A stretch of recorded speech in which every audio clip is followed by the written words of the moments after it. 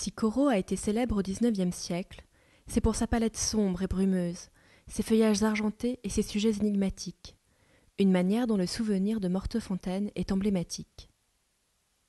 Aujourd'hui, ce que l'on aime surtout chez Corot, ce sont les études qu'il a effectuées dès les années 1825 à l'issue de sa formation. Des peintures très géométriques, découpées par la lumière à la palette claire.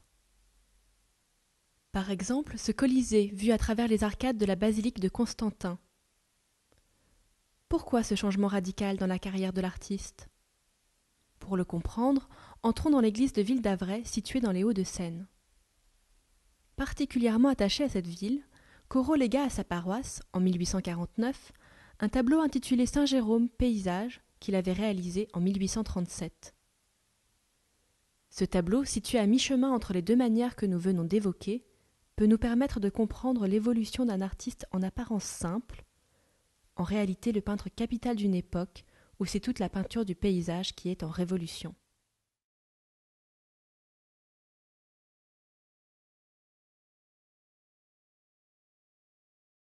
Quel est le sujet de ce tableau?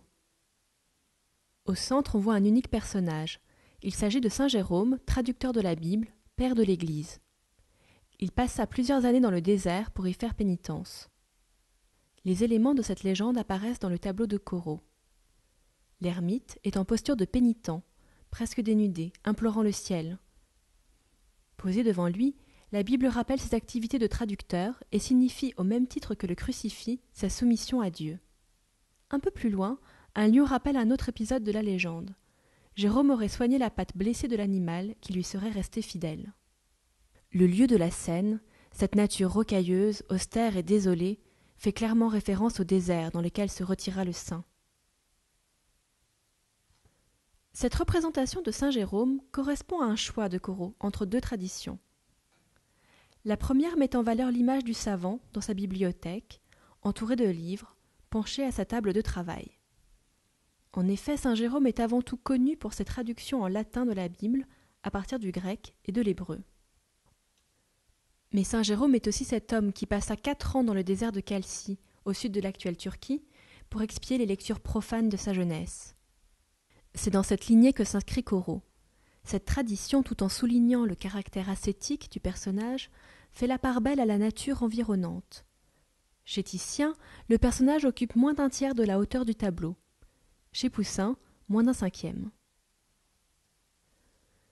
Ce choix permet à Corot de construire la représentation d'un vaste paysage où le saint et le lion pourraient sembler secondaires. On y trouve de grands arbres, des étendues rocheuses qui semblent se poursuivre hors du cadre. La nature est marquée par la diversité.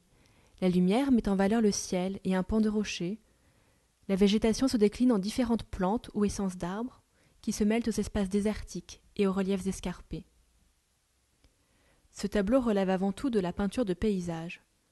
Quel intérêt poussait ici Corot à s'attacher à ce genre?